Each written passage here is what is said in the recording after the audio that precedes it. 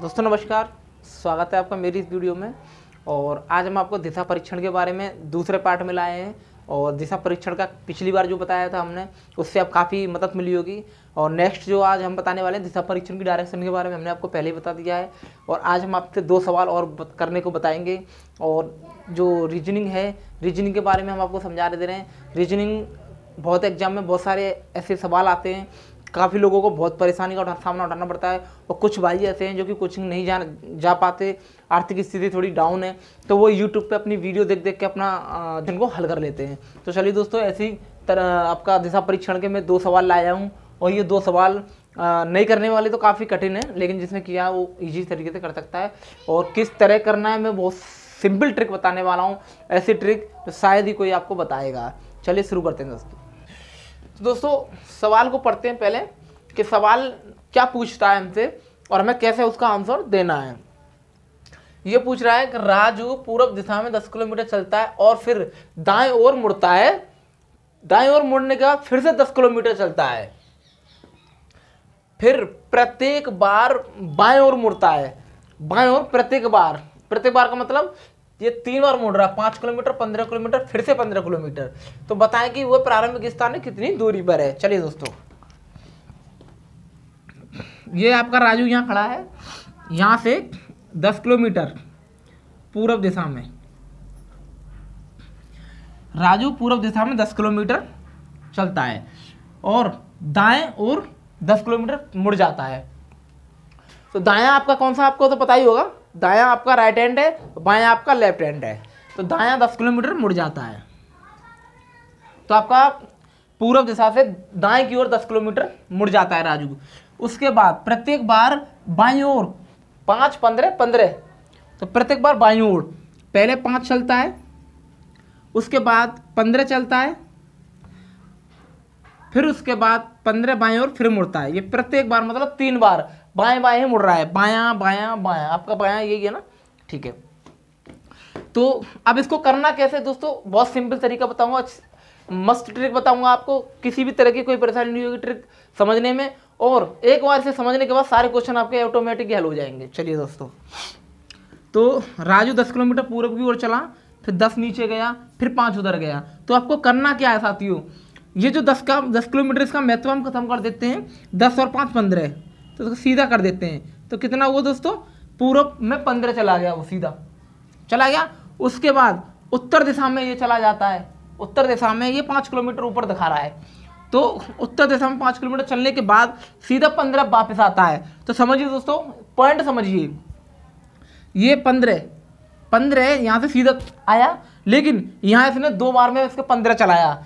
पहले दस चलाया, फिर नीचे दस चलाया, फिर पाँच चलाया, फिर पंद्रह। इसका कहने का मतलब यही है कि आप अगर सम, समझे तो दस चलाने के बाद पाँच इसने यहाँ चला दिया इसका महत्व हम खत्म कर देते हैं। तो दस और पाँच पंद्रह हो गया तो इसको हम सीधा रख देते हैं पंद्रह।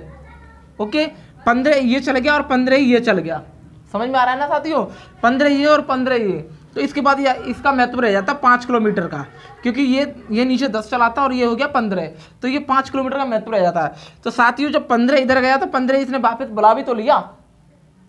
तो इसी को समझते हुए तो पूरब की तरफ़ पंद्रह गया तो उसने वापस पश्चिम की तरफ़ पंद्रह बुला लिया।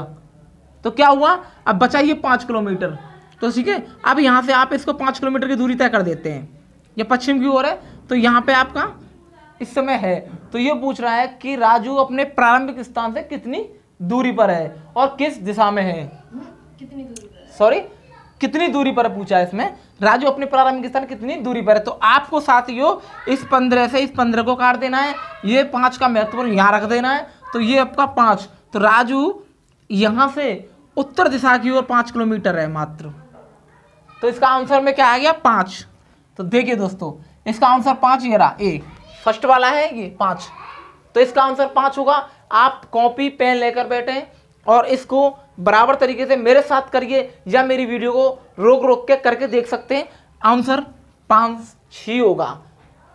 ठीक है साथियों, अगर आपको किसी तरह की परेशानी न समझ में आए मेरा क्वेश्चन तो मुझे कमेंट में पूछ लीजिएगा वापस दोबारा बता दूँगा दोस्तों। और इसके अलावा आपको किसी भी तरह की समस्या आए तो वापस रिपीट करके मेरी वीडियो को वापस देख सकते हो। चलिए दोस्तों, एक हमारा ये हो गया, एक सवाल कर दिया, अब हम दूसरा सवाल करेंगे। ठीक है साथियों? साथियों नेक्स्ट क्वेश्चन आपको पढ़ के बताएँगे और पढ़ने के बाद आपको करके बताएँगे। और ये जो नेक्स्ट क्वेश्चन है बहुत ही बहुत ही टफ होने वाला है। लेकिन जब मैं करके बताऊँगा तो आप स्वयं समझेंगे बाकी में आप ये कहेंगे कि बाकी में बहुत इजी क्वेश्चन था। चलिए। तो एक व्यक्ति उत्तर दिशा में 20 मीटर चलता है, फिर दाएँ और मुड़ 30 मीटर, फिर दाएँ और मुड़ 35 मीटर, फिर बाएँ और मुड़ 15 मीटर, फिर बाएँ और मुड़ 15 मीटर चलता है। बताएँ कि वह अपनी प्रारंभिक स्थिति से कितनी दूरी पर तथा कौन सी दिशा में है? है ना टेढ़ा लेकिन मैं आपको करके बताता हूँ। इसने बोला एक व्यक्ति, ये व्यक्ति 20 मीटर उत्तर दिशा में चलता है। उत्तर दिशा में 20 मीटर चलता है। उसके बाद अपने दाएँ ओर मुड़ता है 30 मीटर। 30 मीटर। ठीक है साथियों? 30 मीटर मुड़ने के बाद फिर से बोलता है कि ये अपने दाएँ ओर, फिर मुड़ता है 35 मीटर। साथियों, ये 35 मीटर आ गया। ठीक है? उसके बाद बोलता है कि अपने बाएँ ओर, यानी कि लेफ़्ट हैंड की तरफ़ फिर पंद्रह मीटर मुड़ता है। पंद्रह मीटर मुड़ने के बाद फिर बोलता है बाएँ ओर, फिर से बाएँ ओर उसको पंद्रह मीटर मोड़ दे रहा है। तो ये पंद्रह मीटर आपका यहाँ आ गया। ठीक है साथियों? तो कितना कठिन है? इसने सवाल जो किया है, एक व्यक्ति उत्तर दिशा में बीस मीटर चलता तथा फिर दाएँ ओर तीस मीटर, फिर बाएँ ओर तीस मीटर, दाएँ ओर तीस मीटर, फिर से बाएँ ओर मुड़ता है, फिर पंद्रह मीटर फिर बाएँ ओर पंद्रह मीटर चलता है, बताएँ कि वो अपने प्राण तक कितनी दूर है तो दाएँ दाएँ, बाएँ बाएँ करते करते आदमी कंफ्यूज हो जाता है। क्वेश्चन जब हल करते बैठ, बैठते हैं ना पेपर में तो कंफ्यूज हो जाता है।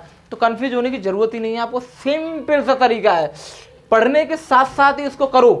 कैसे करना है? इसने बोला, एक व्यक्ति उत्तर देता में बीस मीटर चलता है। तुरंत इस व्यक्ति को बीस मीटर चला दो। ठीक है साथियों? बीस मीटर चलने के बाद फिर दाएँ ओर दाएँ ओर मुड़ता है। इसका मतलब राइट हैंड की तरफ़ तीस मीटर तुरंत मोड़ दो उसे। दाएँ ओर मुड़ने के फिर दाएँ ओर फिर पैंतीस मीटर मुड़ता है। उसे तुरंत पैंतीस मीटर उतार दो उसे। पढ़ो मत क्वेश्चन को, करते रहो कंटिन्यू तो मतलब पढ़ने के साथ साथ क्वेश्चन हल हो जाएगा। पैंतीस मीटर बाएँ ओर मुड़ता है। उसके बाद फिर पंद्रह मीटर बाएँ ओर पैंतीस मीटर मुड़ना बाएँ ओर, फिर पंद्रह मीटर मोड़ दिया मैंने। ठीक है? फिर उसके बाद बोलता पंद्रह मीटर, फिर बाएँ ओर मुड़ना है। तो फिर से पंद्रह मीटर बाएँ ओर मुड़ दिया। ये हो गया आपका हल। अब आप सोच रहे होंगे, इसको कैसे जोड़ना है, कैसे काटना है? चिंता करने की ज़रूरत नहीं है साथियों। बड़ा सिंपल है, मेरी ट्रिक समझो और ट्रिक में, मेरी ट्रिक से सारे सवाल करना कंटिन्यू तीस सेकंड के सवाल होंगे, चलिए। उत्तर दिशा में बीस मीटर चला, ठीक है? फिर अपने दाएँ एक तरफ़ तीस मीटर चला, फिर दाएँ तरफ़ पैंतीस मीटर चला, फिर बाएँ तरफ़ पंद्रह मीटर, फिर बाएँ तरफ़ पंद्रह मीटर। तो हमें क्या करना साथियों? इसकी दिशा पैंतीस और बीस। पैंतीस में से आपने तो बीस माइनस कर दिया तो कितना बचा? पंद्रह। ठीक है साथियों? तो हमें क्या करना है? ये तीस। तीस और पंद्रह प्लस कर लेना है। तीस प्लस पंद्रह।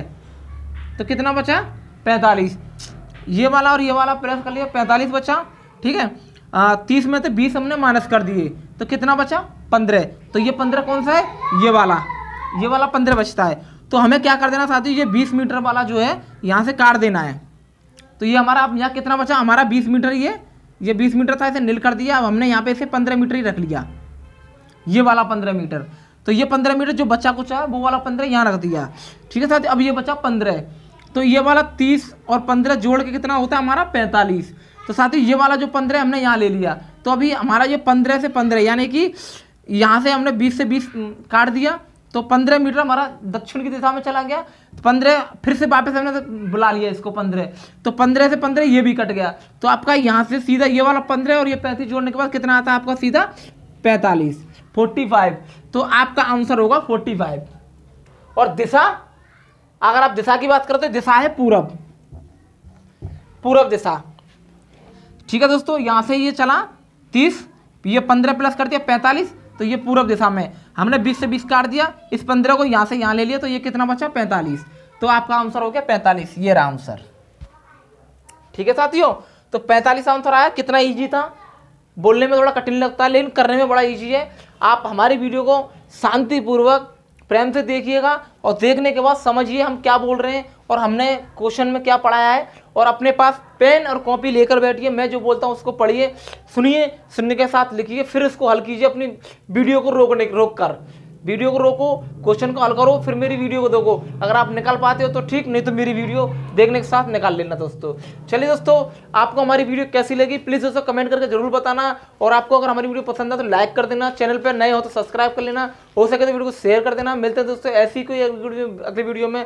गुड बाय दोस्तों, नमस्कार दोस्तों।